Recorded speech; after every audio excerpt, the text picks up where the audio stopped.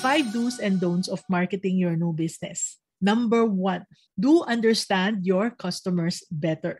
Jenna needs to go deeper to understand her customers' needs and interests. Doing so will help her show them how her products can solve their problems. And then she'll be able to tailor her marketing efforts to effectively reach out to them. Now, number two, don't ignore the competition. Keep an eye on what they're doing and learn from it to offer unique solutions to your customers. But don't copy them like Jenna did because it can backfire. Remember, what works for others may not work for you. And this leads us to number three. Do pay attention to what you say and how you say it. This means that you have to be mindful of your marketing messages. For example, if you claim that your product can do something, make sure that it can actually deliver on that promise. Making false or misleading claims can damage your reputation and erode the trust that your customers have in you. And thankfully, Jenna didn't do this. And sadly, there are some businesses that give exaggerated claims about their products. So keep in mind that honesty is always the best policy.